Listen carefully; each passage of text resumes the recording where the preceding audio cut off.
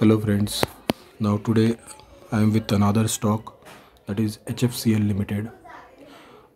The buying price of this is uh, above 69.15 and with the stop loss of 67.25 this is not for intraday this is for an, a short term swing trade. So this is not a recommendation rather it's an educational purpose call. So you can buy at a current price of 69.15 above and with this stop loss of 67.25 only two bus two point stop loss is there but it has a very good potential to go upside within a week. So it will not give time to enter after two three days so that you can buy it now. Thank you for this. Subscribe and share